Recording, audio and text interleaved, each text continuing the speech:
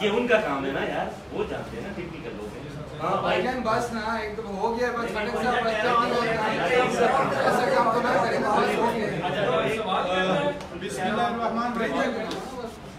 آپ کے میڈیا کا بہت شکریہ کہ آپ لوگوں نے اس نازک وقت میں ہمیں اپنا موقع پیش کرنے کا موقع دیا۔ ہم آپ لوگوں کے بہت زیادہ شکر گزار ہیں۔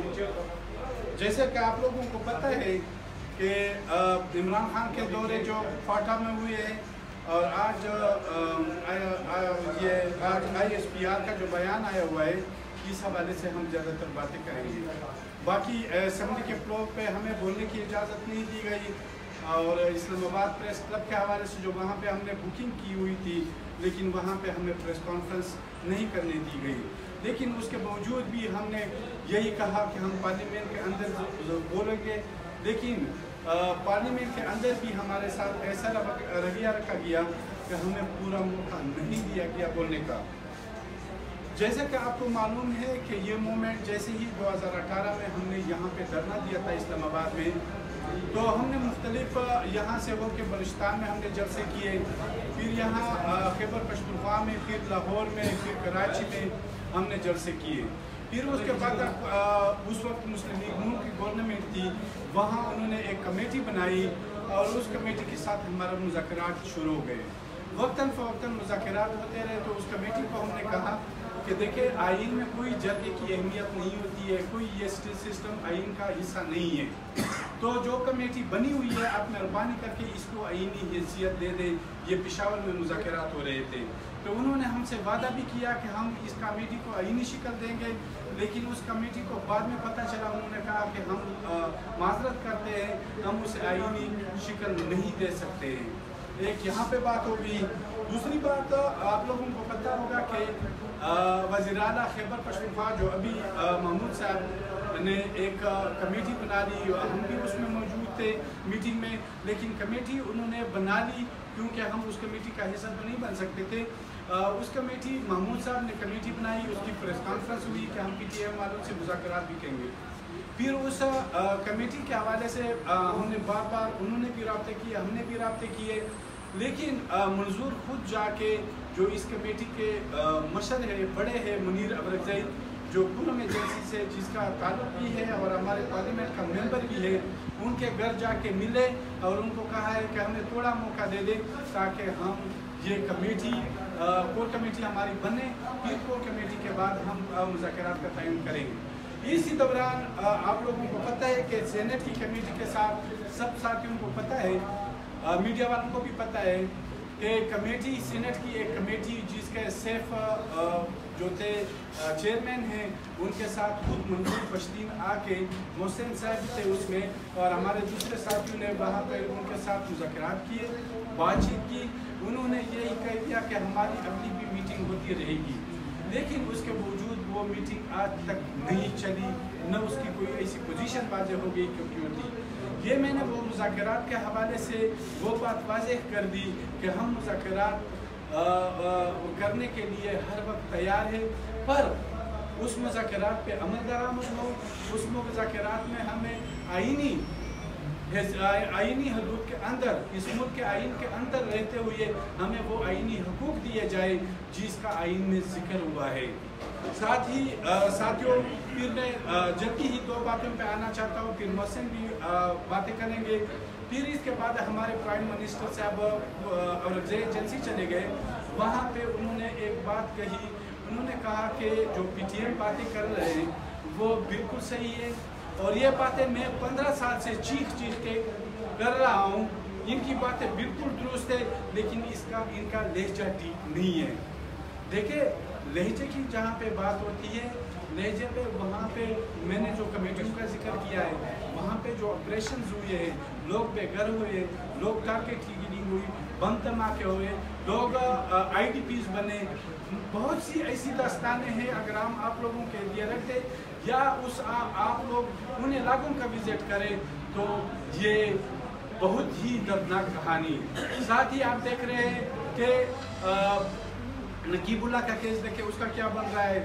ارمان شیخ لونی کیس کا بننے کیا ہو رہا ہے ان کو وہاں تانے سے ان کو بری کیا جاتا ہے کہ اس کا جو موت ہوا ہے شہادت ہوئی ہے وہ ہارٹ اٹیک سے ہوئی ہے اب ہمارے ایک ساتھی کو علمزیب جو ہیومن رائٹس کا جو گمشدہ لوگوں کے اوپر کام کرتا تھا ابھی تک اس کے اوپر دہشت گردی کے دفعات لگے ہوئے ابھی تک جیل میں ہے ساتھ ہی اور ایگزام میں اس نے پھر اس نے ساؤتھ وزیرستان میں وانا کے مقام پر کہا تھا کہ کچھ یہاں پہ تنظیمیں ہیں۔ وہ پی ٹی ایم کا نام دیے بغیر انہوں نے کہا کہ کچھ تنظیمیں ہیں، ان کو باہر سے فنڈنگ آ رہی ہے۔ دیکھیں، ہم پارلیمنٹ کے ممبر ہیں۔ ہمیں عوام نے ووٹ دیا ہے۔ ہم نے بار بار کہا ہے کہ ہم اس ملکی آئین کے اندر ہے تو یہ اپنے مطالبات کا ذکر کرتے ہیں۔ جہاں سے فنڈنگ کی بات ہے ثابت کر دیں ہم حاضر ہیں۔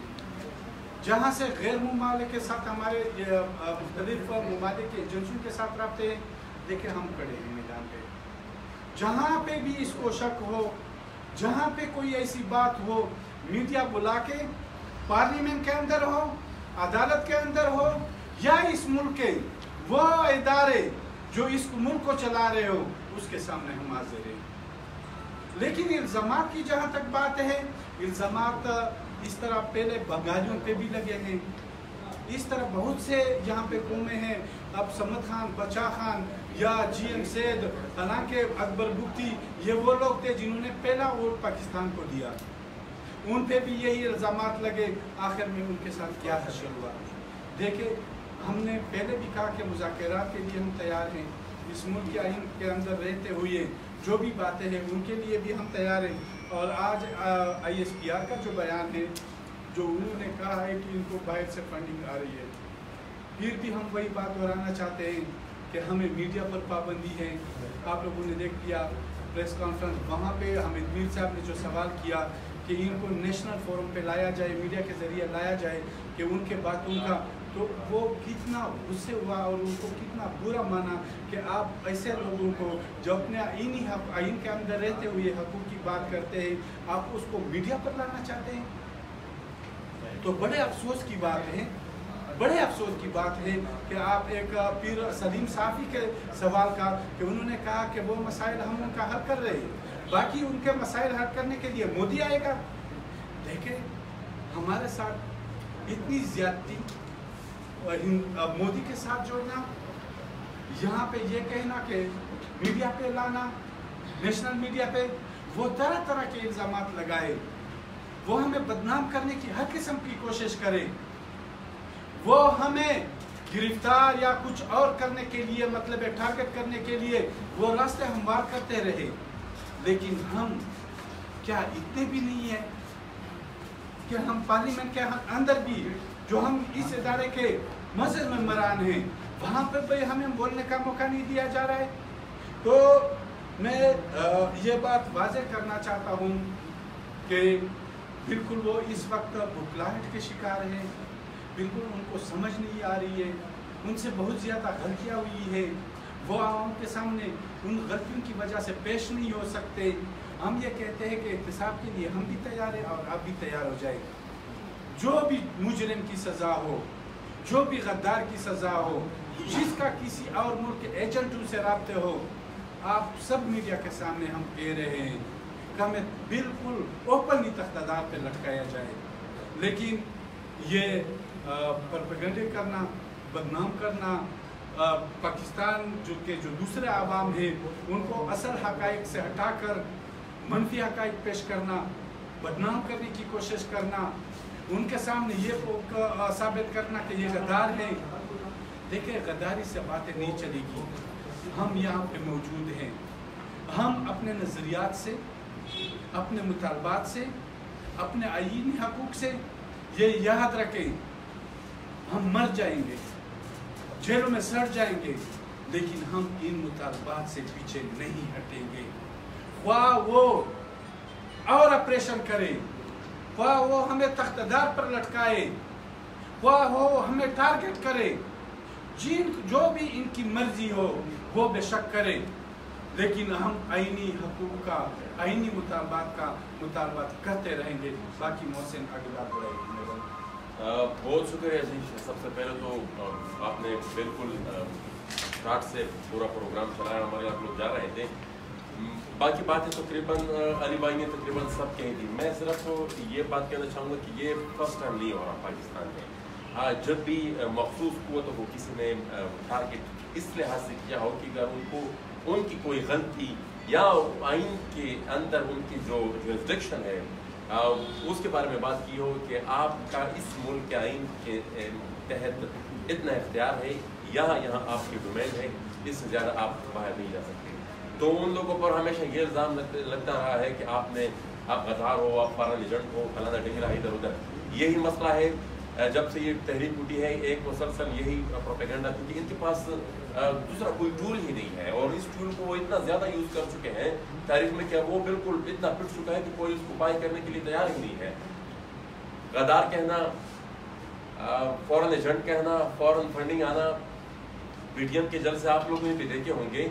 ہم نہ کسی ڈی جے بھٹ کو بلاتے ہیں اپنے جلسوں میں، نہ ہی ہمارے جلسوں میں کوئی مطلب ہم نے ابھی تک کوئی پانچ سو، تین سو کے سے زیادہ کرسیاں بھی نہیں رکھی ہمارے پاس پیسے نہیں ہوتے۔ جہاں تک الزام ہے فنڈنگ کا، تو ہم بالکل اپنے آپ کو کیونکہ میں پارلیمان میں بھی یہ بات کی کہ ہم اپنے آپ کو پیش کرتے ہیں۔ احتساب کے لیے جس قسم کی کمیٹی یہ پارلیمان بنایا، ہم بالکل اس کمیٹی کے سامنے اپنے آپ کو پیش کریں۔ یہ کنیکشن ذرا ثابت کریں کہ کہاں سے ہمیں فنڈنگ ہو رہی ہے، اور یہ پہلے دن سے نہیں، اب سے نہیں، پہلے دن سے ہم یہ چیخ رہے ہیں کہ ذرا ذرا ہمیں ثبوت بھی دیں ثبوت ابھی تک نہیں مل رہا ہے، بس الزام پہ الزام پہ الزام پہ، الزام۔ دوسری بات، یہ جس طریقے سے وہ اب جناب آتے ہیں، پھر میڈیا کو انسٹرکشن بھی دیتے ہیں، پھر پالیسی اسٹیٹمنٹ بھی دیتے ہیں، تو ہم پھر یہ سوال اٹھاتے ہیں کہ حکومت کا۔ آیا پاکستان کا یہ کہتا ہے کہ پاکستانی حکومت ریاست کی ترجمانی جو ہے، وہ ایک فوج کی ترجمان کریں گے؟ ریاست کہاں پر ہے؟ ان کا کام تو سیکیورٹی کی طرف سے ریلیٹڈ ہونا چاہیے تھا ڈیفینس سے ریلیٹڈ ہونا چاہیے تھا۔ وہ آ رہے ہیں وہی پالیسی اسٹیٹمنٹ دے رہے ہیں لا اینڈ آرڈر کی بھی بریفنگ دے رہے ہیں اور جو بھی ریجنل سچویشن ہے انٹرنیشنل سچویشن ہے، اس کی بھی بریفنگ دے رہے ہیں۔ انہی چیزوں کو پر ہمارا اعتراضات ہوتا ہے، اس لیے وہ چیز ان کو زیادہ بری لگتی ہے۔ سینٹ کے ساتھ ہماری کمیٹی تھی کمیٹی کمیٹی نے ہمیں بلایا، ہم نے ان کے ساتھ نے سفارشات رکھی۔ پھر ایک پریس ریلیز اس کمیٹی نے ایشو کی۔ Senate as house of federation پھر اس کمیٹی میں تمام سیاسی جماعتوں کے نمائندگان تھے۔ اس کمیٹی نے پھر ایک پریس ریلیز کی اس پریس ریلیز میں انڈورس کیا۔ پی ٹی ایم کے مطالبات کو انڈورس کیا۔ اب ہاؤس آف فیڈریشن ہمارے مطالبات کو انڈورس کر رہا ہے۔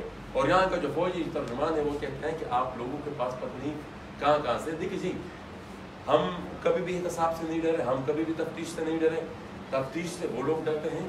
نہ ہی وہ اپنے آپ کو تفتیش کے لیے پیش کرتے ہیں۔ ہم نے جو ٹروتھ اینڈ کنسلیشن کمیشن کی بات کی، وہ اس لیے کی کہ جو بھی جو بھی رانگ ڈوئنگس ہوئی ہے پچھلے پندرہ بیس سال میں، جو بھی وہاں پر واقعات ہوئے، اگر کوئی ایکسٹرا جوڈیشل کلنگ ہوئی ہے یا کوئی دوسری اس قسم کے واقعات ہوئی ہیں، تاکہ تحقیقات ہو۔ تاکہ تحقیقات ہو کہ کون کس نے دہشت گردوں کو پالا تھا، کس نے دہشت گردوں کو یہاں پر دیکھیے جی ہمارے اوپر یہ الزام لگا تھا کہ بھیا عمران خان صاحب نے کہا تھا کہ نیو یارک ٹائمس انٹرویو میں تھے، طالبان کو فوج نے بلایا، پھر تھا اس کو بھی غدر کا ہے۔ انہیں نے ایران میں کہا تھا کہ یہ جو پروکسیز یہاں پر آپریٹ کرتے ہیں، یہ پاکستان سے آتی ہیں، پاکستان کی زمین یوز ہوتی ہیں۔ پھر ان کو بھی ذرا ان کو بھی پھر ذرا ٹارگٹ کریں۔ ہم تو جتنی قرآن تحریک ہے نان وائلنٹ موومنٹ ہے ابھی تک، اتنا ہمارے احتجاج ہوئے ہیں۔ اسلام آباد میں ہم نے بھی کیے ہیں پیٹیا نے بھی کیے ہیں۔ ہمارے احتجاج میں ایک گملہ نہیں چھٹا۔ اور ان کے احتجاج میں جو ہوا، پھر وہ آپ سب کے سامنے ہیں۔ بلوں کو بھی پڑھا گیا، پولیس آفیسر پہ بھی ٹارگٹ کیا گیا ہے۔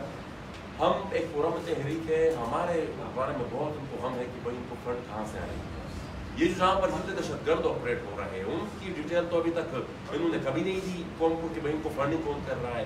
دوسرا سوال، انہوں نے ضرب عزب کے بارے میں کہا کہ ہم نے وہاں بیس پر ہے ضرب عزب کے بارے میں میں نے ایک سوال کیا تھا قومی اسمبلی میں کہ مجھے بتایا جائے کہ کتنے دہشت، میں ابھی بھی اس پریس کانفرنس کے ذریعے پھر یہ سوال کرتا ہوں کہ ہمیں بتایا جائے کہ کن کن دہشت گردوں کو انہوں نے مارا ہے، کن کن دہشت گردوں کو انہوں نے گرفتار کیا ہے۔ وہ انہوں نے ٹی ٹی پی کے بات کی کہ جو مسنگ پرسنز کی لسٹ ہے۔ بابا ہم آئین کی بات کرتے ہیں۔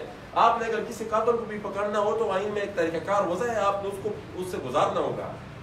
یہی بات ہم اس وقت بھی کر رہے ہیں۔ یہ جو مسنگ پرسنز کے بارے میں بھی کر رہے ہیں۔ بھائی آپ نے اس کو ایک آئین سے گزارا۔ آئینی طریقہ کار ہے۔ آپ نے اس طریقے سے ٹی ٹی پی کی جب ہم بات کرتے ہیں تو ہمیں یہ بتایا جائے۔ انہوں نے کہا کہ مسنگ پرسن اور جی ڈی پی کی لسٹ ہم کمپیئر کر کے دیکھ لیں۔ میں ایک اور سوال پوچھتا ہوں میں نے آلریڈی قومی اسمبلی میں پوچھا تھا بھی اس کا جواب مجھے نہیں ملا کہ جتنے بھی لوگ ہیں، انہوں نے گرفتار کیا ہو یا انہوں نے مارے ہوں؟ ذرا ان کی ڈیٹیل قوم کے سامنے رکھیں کہ یہ ہم نے آپریشن کیا ہے۔ انہیں دہشت گردوں کو ہم نے جربیزت کے دوران یا فلاں ڈگری کے دار مارا ہے، ان کو ہم نے زندہ پکڑا ہوا ہے، ان کو ہم نے فائر کیا ہوا وہ تو آپ پھر قوم کو بتاتے نہیں ہیں۔ اس کا جواب مجھے ابھی تک نہیں ملا۔ تو دیکھیے جی بہت سارے ایسے وجوہات ہیں جن کے پھر تین کیسز ہیں۔ تین کیسز کی میں ضرور بات کروں گا۔ Naqeebullah Mehsud case Tahir Dawar case اور رحمان زولی کیس اس میں کیا ریاست کا جب تھوڑا سا کنڈکٹ دیکھیں۔ یہاں پر سینٹ کی اسٹینڈنگ کمیٹی ڈائریکشن دیتی ہے کہ ارمان زولی کیس میں آپ ایف آئی آر درج کریں۔ وہ ایف آئی آر نہیں ہوتا نہیں ہوتا، پھر کہیں ایک دو مہینے بعد درج ہو جاتا ہے۔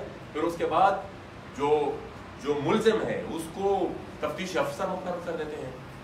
اچھا طاہر داور کیس میں میں نے اسمبلی میں بھی یہ بات کی کہ جے آئی ٹی بنائی گئی جے آئی ٹی کا ابھی تک کچھ پتہ نہیں کہ جے آئی ٹی کی رپورٹ کیا ہے۔ پھر پارلیمانی کمیٹی کا وعدہ کیا گیا تو ان کے رواقین صاحب اس کا بھی کچھ پتہ نہیں ہے۔ تو تفتیش سے کون ڈرتا ہے؟ ہم تو تفتیش سے نہیں ڈرتے۔ چوبیس میں ابھی شروع کریں۔ نقیب کے کیس کا آپ کو سب کو پتا ہے کہ راہل اندر راہل اندر کتنا دن دناتا پھر رہا تھا۔ ایک دہشت گردی کے کیس میں مطلوب ملزم وہ ہاؤس ارسٹ میں انجوائے کر رہا تھا۔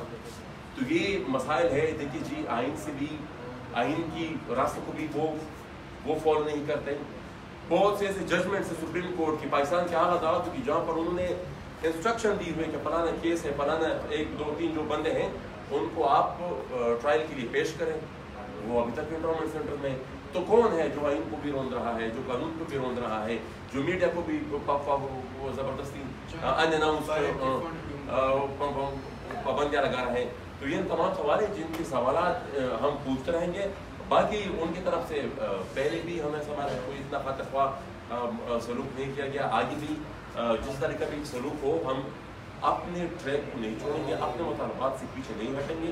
ہمارا بیان یہی رہے گا، ریاست چاہے جو بھی کرے، لیکن ایک بات میں یہ کہوں گا کہ حکومت نظر نہیں آ رہی۔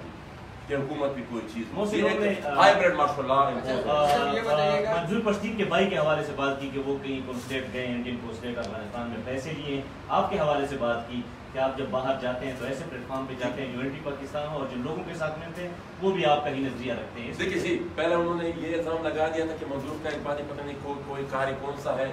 اس کی پھر جب ہم نے تفصیلات مانگی تو اس کی تفصیلات نہیں پرووائڈ ہوئی۔ یہ بھی اسی طریقے کا ایک الزام ہے جو ابھی انہوں نے لگایا ہوا ہے۔ اچھا میرے بارے میں جب یہ الزام لگتا ہے کہ آپ پاکستان جا کر ایسے لوگوں سے ملتے ہیں جو پاکستان کے خلاف بولتے ہیں، بابا پاکستان کا کون سا آئین کون سا کون سا مجھے کسی ساتھ ملاقات کرنے سے روکتا ہے؟ جس بندے کی طرف آپ نے اشارہ کیا، اس بندے کو آپ نے پاکستان کا سفیر بنایا تھا قومی امریکہ میں۔ دنیا کے سب سے بڑے مطلب سپر پاور ہم آپ اس کو سفیر لگاتے ہیں۔ اور میرے اوپر پھر یہ الزام لگاتے ہیں کہ بھائی آپ جا کر پاکستان کا کون سا آئین، قانون اور آئین آئین کا کون، آئین کی کون سی شک مجھے اس سے روک رہی کہ میں وہاں پر وہاں پر مقیم پاکستان میں وہ ان پر جو کیس، میں ان کی وکالت نہیں کروں گا، وہ اپنے جواب خود بہتر دے سکتے ہیں۔ لیکن ان پر جو کیس بھی آپ نے بتایا تھا، وہ بھی سپریم کورٹ نے فارغ کر دیا۔ تو یہ عوام کیا سوچیں گے؟ کیا وہ اپنے مستقبل کا فیصلہ کریں گے؟ کس طریقے سے وہ زندگی گزارے گزاریں گے؟ یہ فیصلہ پاکستان کی عوام نے خود کرنا ہے۔ اور یہ افراد کی یہ یہ اختیار یہ فریڈم پاکستان کے آئین میں دیا ہوا ہے۔ چند ہزاروں کے چند افسران کو یہ اختیار نہیں ہے کہ وہ ڈائریکشن دے کہ بھائی آپ لوگوں نے اس ملک میں زندگی اچھا، محسن اور علی یہ بتائیے کہ آپ جو بھی آج کے واقعات ہوئے وہ ہمارے سامنے ہیں اور ماضی بھی تھوڑا سا ہمارے سامنے ہے آپ ذاتی طور پہ کسی تھریٹ کا شکار تو نہیں ہے آپ کی لائف اور سیکیورٹی تھوڑا یہ بتائیں دیکھیے جی ہم ہمارے جو کسی سے ذاتی دشمنی ہے نہ ہی کوئی مسئلہ ہے۔ نہ ہی کسی کسی جرم ٹھیک ہے؟ ڈائریکٹلی انڈائریکٹلی ہمیں کچھ ہوا تو ریاست پاکستان رسپانسبل ہو اس کے دار رسپانسبل ہو اچھا محسن بھائی یہ بتائیں آپ اور وزیر صاحب چونکہ آپ دونوں الیکٹڈ ہیں اور اگر منظور پشتین کو اگر کوئی حراست میں لیا جاتا ہے تو اس سچویشن کے لیے آپ کو کتنا تیار ہے دیکھیے جی وہ جس قسم کا بھی واقعہ ہو، ہمارے ساتھ اور امن احتجاج کے علاوہ کوئی اور دوسرا رائے نہیں ہے، راستہ نہیں ہے۔ اسی راستے کو ہم نے بڑی احسن طریقے سے ایک ایگزامپل سیٹ کر کے پاکستان کی دوسری پولیٹیکل فورسز کے لیے اسی کو ہم سٹارٹ سے لے کر آگے بڑھ رہے ہیں۔ پروٹیسٹ ہی ہمارا only protest is only weapon اور پروٹیسٹ کے ذریعے ہم ذہنی طور پر تو ہم زندگی کونے کے لیے بھی تیار ہیں تو مطلب پریاس یہاں سے جا کے وہاں تک ہم تیار ہیں کوئی بات جی میں کوئی جنرلس نہیں لیکن میں پاکستان کا ایک آمان ہوں مجھے جو میرے میں میں جو کوشچن رائی ہوتا ہے وہ یہ ہے کہ جب بھی کسی طاقتور کو کمدور سے خطرہ ہوتا ہے تو طاقتور کمدور کو سین سے غائب کر دیتا ہے پاکستان کی ریاست کو پی ٹی ایم سے یا پی ٹی ایم سے لیڈر افراس ایسا کیا خطرہ ہے کہ وہ پی ٹی ایم کے افراس کو غائب نہیں کرتے انہیں مارتے ہیں دیکھیں جی یہ جواب تو ریاستی ادارہ خود دے ہم تو صرف سچ بیان کرتے ہیں اور سچ بیان کرنا اکثر ان کو اچھا نہیں لگتا۔ تھینک یو ویری مچ بہت بہت